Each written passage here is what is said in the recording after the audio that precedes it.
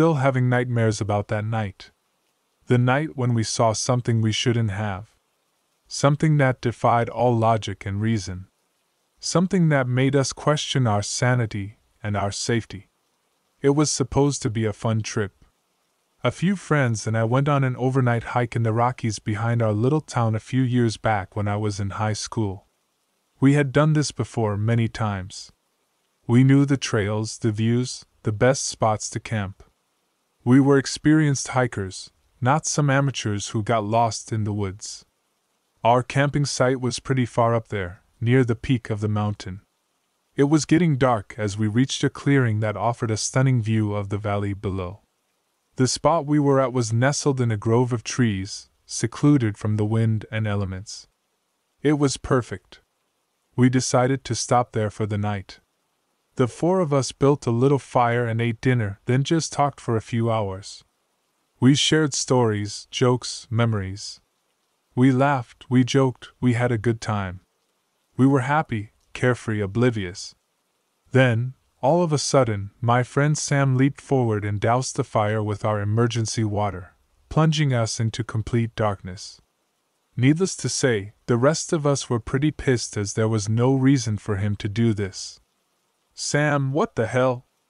I yelled, trying to find my flashlight in my backpack. Sure, sure, sure, he hissed, grabbing my arm and pulling me down. Be quiet, be quiet. He sounded terrified like so scared he couldn't even speak or move. His grip on my arm was tight, almost painful.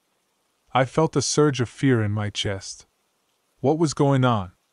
The rest of us managed to get a few words out of him. He told us to look up on the ridge where we should have been camping at. He said he saw something. Something that made him freak out. It was pretty far up, so it was kind of hard to see at first. But then, as my eyes adjusted to the darkness, I saw it too. And that sight will haunt me for the rest of my life. There was a fire. A big one, like a bonfire sort of thing. Around the fire were several figures moving in a slow circle. They were humanoid, but not quite. They had arms and legs like people, but something just seemed different about them that I can't really explain. Almost like the limbs were too long and skinny, or something. But maybe not. Anyway, these figures just moved around the fire in a really slow circle, over and over again. My one friend, Jake, claimed he could hear them singing something, but I don't remember anything. I was too focused on the one standing off to the side, a little ways away from the fire. He was leaning with his arm on a tree branch above his head, watching us. He was the one who scared me the most. He had a face. A human face. But it was twisted and distorted, like it had been burned or melted. His eyes were glowing red, like coals. His mouth was wide open, revealing sharp teeth. He looked like he was smiling. A wicked, evil smile. He looked like he knew we were there. He looked like he wanted us to see him. He looked like he was waiting for something. It really creeped us out, but we were too scared to move or make a sound. We just lay there, on the ground, hoping they wouldn't notice us. Hoping they would leave us alone. Hoping it was all a bad dream. We must have fallen asleep at some point, because the next thing I remember was waking up to the sound of birds chirping. It was morning. The sun was shining. The sky was blue. It was a beautiful day. We got up and looked around. The fire was gone. The figures were gone. There was no trace of them. It was like they had never been there. We tried to convince ourselves that it was just a hallucination. That we had eaten something bad, or breathed in some smoke, or something. That it was all in our heads. But we knew it wasn't. We knew what we saw. And we knew we had to get out of there. We packed up our stuff and finished off our hike to the peak. We didn't talk much. We just wanted to get it over with. On our way down, we passed the place where we saw the figures. We decided to check out the camp, just to make sure. It was completely deserted. It was obvious that there had been a fire, and there were footprints everywhere. But there was something else. Something that made our blood run cold. Inside the fire pit was a small mound of charred animal bones. Probably chipmunks or squirrels. And next to it, a pile of four or five rodent skulls that had been burned. They looked like they had been used as some kind of ritual offering. Or a snack. Creepy, right? But that wasn't the worst part. The worst part was where the one figure had been standing. The one with the twisted face and the red eyes. There was blood. Not a lot, but enough to be of concern. Enough to be creepy. Enough to make us wonder what he had done. Or who he had done it to. And then we saw the tree branch he had been casually leaning against. It was well over any of our heads, and I'm over six feet tall. That would mean that in order for the figure to lean against it like he did, he would have to be at least seven feet tall. Or maybe he wasn't leaning. Maybe he was hanging. We didn't stick around to find out. We ran. We ran as fast as we could down the mountain, back to our car, back to our town, back to our homes. We didn't stop until we were safe. Or at least, we thought we were. We called the fish and wildlife rangers and told them what we saw. They said it was probably just a bunch of kids messing around and not to worry about it. They said they would check it out and let us know if they found anything. They never did. They never called us back. They never told us what they saw. They never told us what they found. They never told us anything. Maybe they didn't find anything. Maybe they didn't see anything. Maybe they didn't believe us. Or maybe they did. And maybe they wished they hadn't. We never went back to that mountain. We never went hiking again. We never talked about that night again. We tried to forget. We tried to move on. We tried to live normal lives. But we couldn't. We couldn't forget. We couldn't move on. We couldn't live normal lives. Because we knew. We knew there was something out there. Something that wasn't human. Something that wasn't natural. Something that wasn't right. Something that wanted us. Something that followed us. Something that haunted us. Don't believe me if you don't want to. But there is something out there. Something that lurks in the shadows. Something that waits for the right moment. Something that strikes when you least expect it. Something that will get you. Something that will get me. Something that will get us all. There's something about the dark and the silence that makes me feel alive. My friends and I used to go on late night hikes every weekend, exploring different trails and enjoying the thrill of the unknown. One of our favorite trails was the one that led to a clearing with a big gnarled dead tree. We called it the Tree of Doom, because it looked like something out of a horror movie. It was our landmark, our halfway point, our destination. One night, we decided to go on that trail again. It was a clear and moonlit night, and we were in high spirits. We joked and laughed as we walked, shining our flashlights on the trees and bushes. We didn't see anyone else on the trail, which was normal for that time of night. We were about to reach the clearing, when we saw something that made us stop in our tracks. A figure, dressed in black, was climbing up the tree of doom. He moved so fast, it was almost unnatural. He reached the top in seconds and perched himself on a branch. We stared at him, dumbfounded. Who was he? What was he doing there? Was he a hiker, a prankster, a lunatic? We got a bit closer and shouted at him. Hey man, are you okay? He looked down at us and smiled. His teeth were yellow and crooked, and his eyes were wide and wild. Yeah, dudes, just lost my hat up here, he said in a raspy voice. He pointed at his head, where a black beanie was still on. He didn't seem to notice or care. He just sat there, staring at us, with a creepy grin on his face. We felt a chill run down our spines. Something was wrong with him. He was not normal. He was not human. We backed away slowly, trying not to provoke him. Okay, well, good luck with that, we said nervously. We turned around and ran. We ran as fast as we could, away from the clearing, away from the tree, away from him. We didn't stop until we reached the end of the trail, where our car was parked. We got in and locked the doors. We were panting and sweating, and our hearts were pounding. What the hell was that? One of my friends asked. I don't know, man, I don't know, another one said. We looked at each other and saw the fear in our eyes. We had just encountered something that was not of this world. Something that was evil. Something that was terrifying. We never went on that trail again. We never saw the tree of doom again. We never saw him again. But sometimes, when I close my eyes at night, I can still see his face, his smile, his eyes. And I wonder if he's still up there, waiting for his next victims. I was at grandparents' house late at night, and I had a nightmare there. All the lights were off, and I heard something outside. Everyone was sleeping, so I got up to see what it was. As I got inch close to look out the front porch window, the most horrifying man was smiling right into my face, and I flip out. The scariest part was when I tried to yell, nothing came out.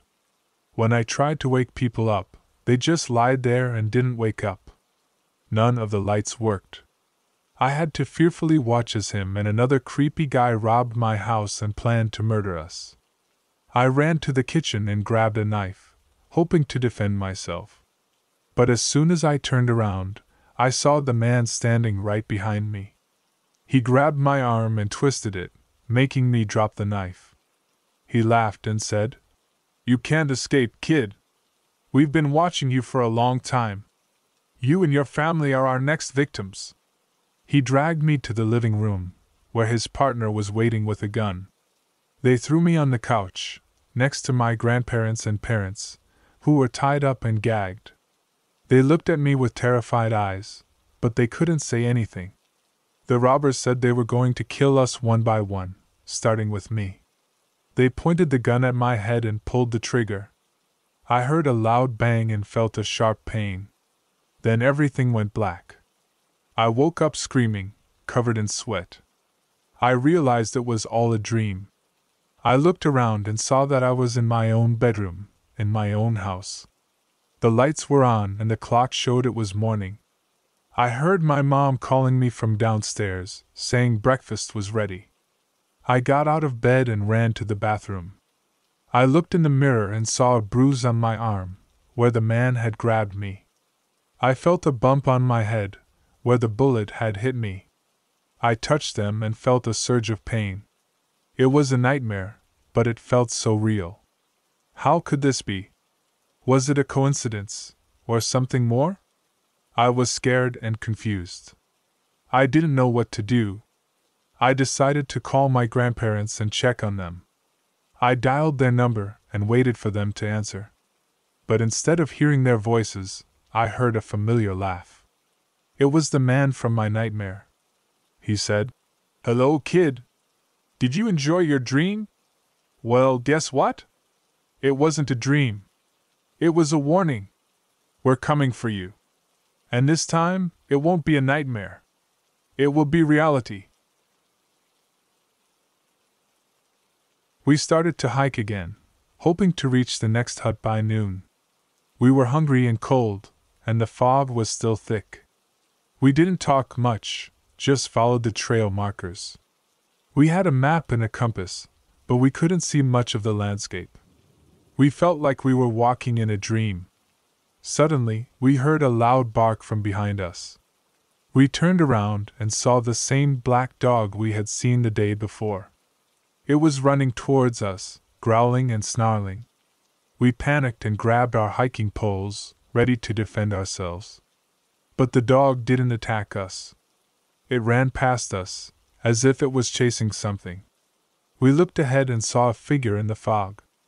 It was the man we had seen with the dog. He was wearing a dirty coat and a hat, and he had a rifle in his hands. He was running away from the dog, looking terrified. He saw us and shouted something we couldn't understand. Then he fired his gun at the dog, but missed. The dog kept chasing him, and they both disappeared into the fog. We were stunned. We didn't know what to do. We decided to keep hiking, hoping to get away from whatever was going on. We wondered if the man was the one who had stolen our food, and if he was a hermit or a hunter or something else. We wondered why the dog was attacking him, and if it was rabid or trained or wild. We wondered if we were in danger, and if we should call for help or stay quiet. We wondered if we would ever get out of the fog. We hiked for another hour, until we reached the next hut. It was a small wooden cabin, with a metal roof and a chimney. It looked cozy and inviting. We knocked on the door, hoping to find someone who could help us. But there was no answer. We opened the door and walked in. The hut was empty. There was a fireplace, a table, some chairs, and a few shelves. There was also a radio, a phone, and a generator. We thought we had found a safe place to rest and contact the authorities. But then we saw the blood. It was everywhere on the floor, on the walls, on the furniture. It was fresh and wet, and it smelled horrible. We followed the trail of blood to the back of the hut, where there was a small bedroom.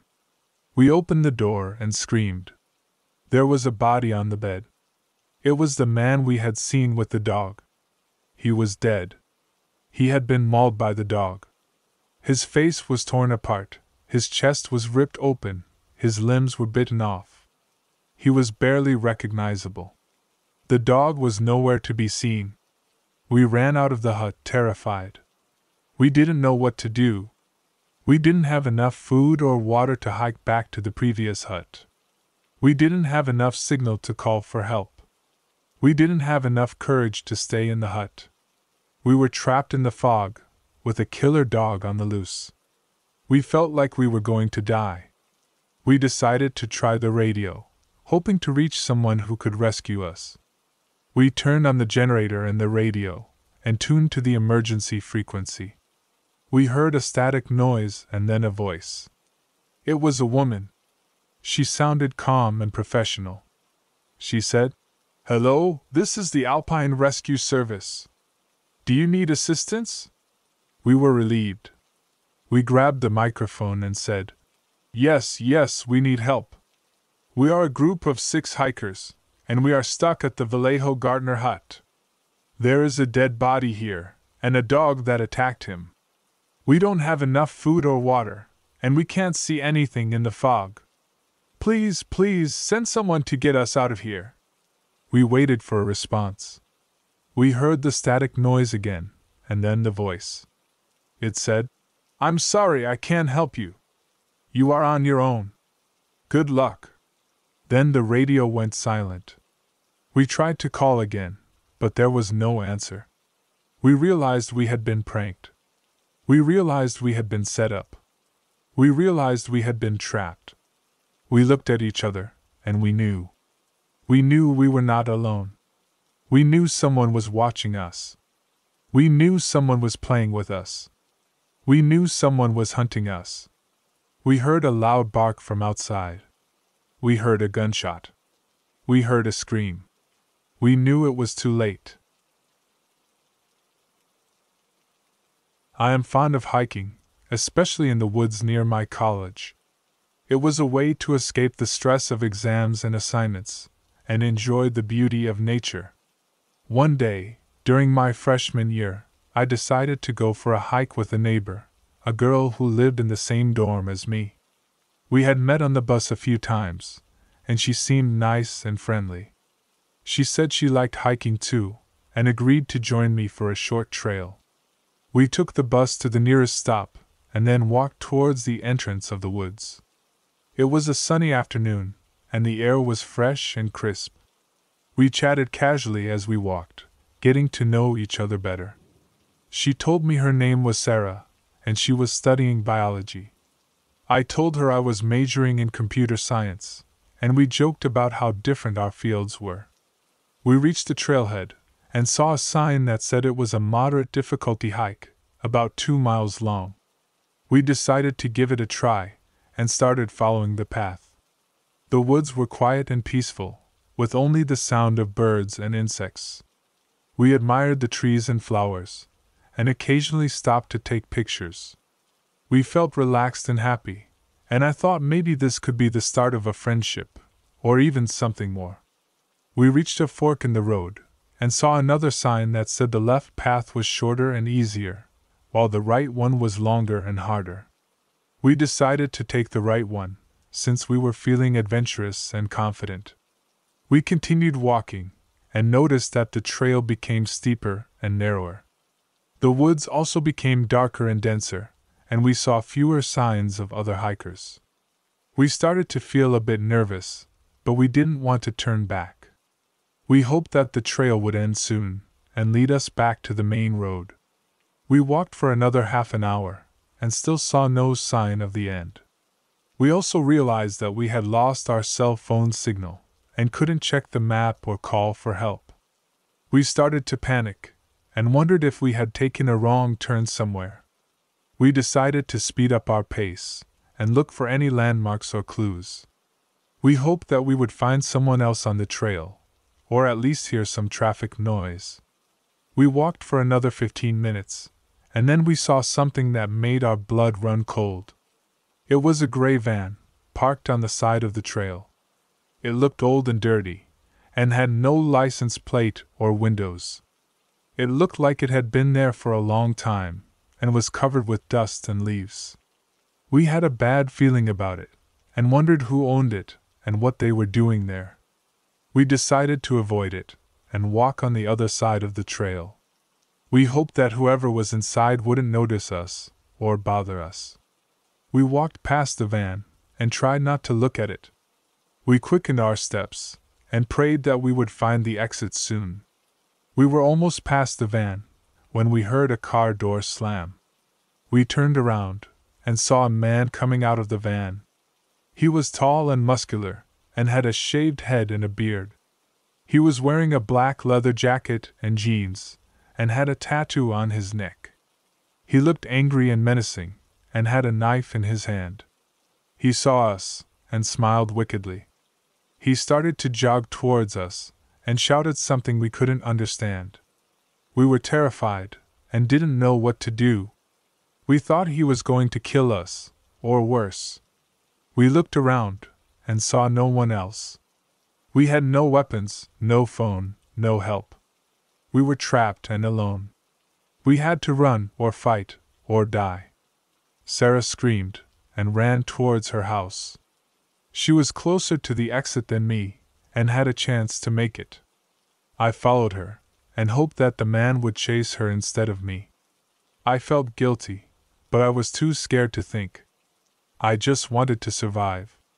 The man saw Sarah running, and changed his direction. He ran after her, and ignored me.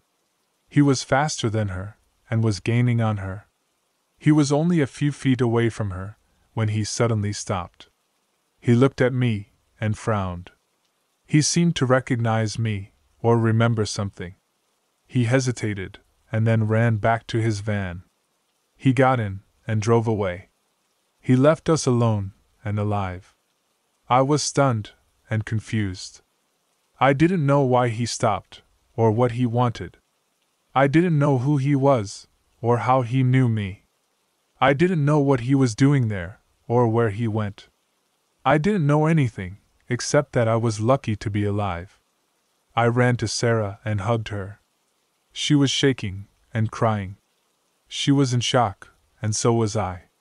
We didn't say anything, we just held each other. We were glad to be alive, and together. We walked to her house and called the police. We told them what happened and gave them a description of the man and the van. They said they would investigate and asked us to stay calm. They said we were brave and lucky. They said we should be careful and stay safe. We never found out who the man was, or why he attacked us. We never saw him again, or his van. We never went hiking again, or took that trail. We never forgot that day, or that fear. We became friends and then more. We helped each other heal and cope. We supported each other and loved each other. We moved on and lived on. But we always wondered what if he came back? What if he found us? What if he finished what he started? We never knew, and we never will.